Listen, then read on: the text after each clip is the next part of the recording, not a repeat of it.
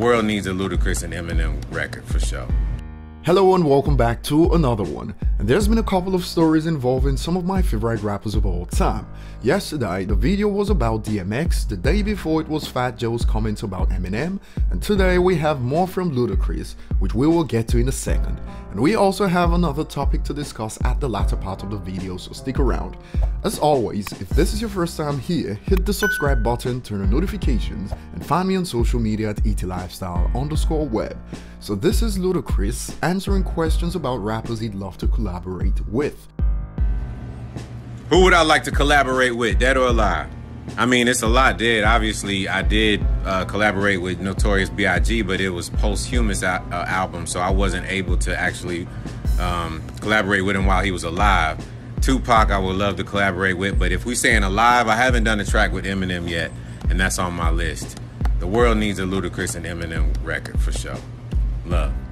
And sometimes I wonder how things like this haven't happened yet. Luda is one of my favorite rappers, and just like Eminem, he's achieved success in both the music industry and the film industry. And for the Eminem and 50 Cent fans out there who didn't know, Ludacris took Ja Rule's spot in the Fast and Furious franchise, which adds to the cereal bowls of L's Ja has had to digest in his career. Before we get to how fans have reacted to Luda's comments about collaborating with Eminem, here's a brief summary of Luda's milestones in the United States. 5 number 1 singles, 4 number 1 albums, 18 top 10 hits, 56 Hot 100 entries, pure album sales of 14.5 million, song sales of 19.5 million, and streams of 1.9 billion. So a stellar career, and since he's not as active in hip hop as he used to be, he's not transitioned particularly well to the streaming era of music. But nonetheless, he still has more pure album sales in the United States compared to artists like Drake for instance, who's estimated to be at 11.3 million albums sold in the United States. And regarding the news, here's how fans have reacted to this. One user states, Anyone saying no doesn't appreciate rap for lyrics, and I have to agree with this user. There's no other way to slice it if someone doesn't believe a collab like this would be great, and the gatekeepers are back again with tweets like this. He lost his credibility after giving birth to Justin Bieber's baby. Now I don't know if this user is joking, it's hard to tell these days, but I've seen users argue with points like this to discredit legends, but they don't apply their standards to everyone. For instance, Kendrick on a song with Taylor Swift doesn't affect his credibility, but Luda on a song with Bieber means he lost his credibility, so we'll just ignore everything he's done because of one song.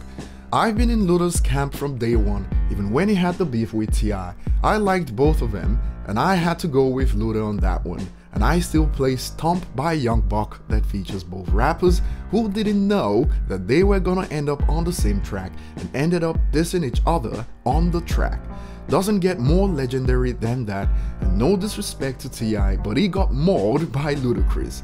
And if you enjoy that song as much as I do, leave a in the comments section.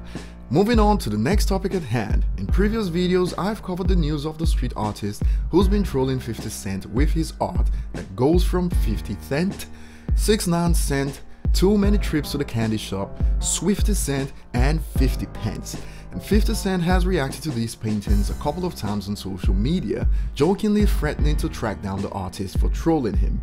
For instance, regarding Swifty Cent, 50 posted, I'd like to hit the artist right in the back of his head while he's doing this, and sadly, some people really jumped the artist recently. The artist stated on Instagram, 50 seems to want some more walls, unfortunately some 6 or 7 smoothie brains. One time on the street already put me in hospital this month because of this art. I don't like to bring up all the bad stuff I have to deal with just to paint some funny you laugh now images on walls. But I guess now's a chance, and he proceeds to share a story of how he has to fight people who try to stop him from painting and shared a picture of him in the hospital after an encounter. 50 is yet to react to this post, but the artist has already stated that these drawbacks won't stop him from doing what puts a smile on the faces of most people, He's even got a painting of Eminem smiling with the caption, I just want him to be happy, and added we must protect Em. So that will be all for today. What do you think about Em and Luda collaborating? If this happens, then a music video is essential.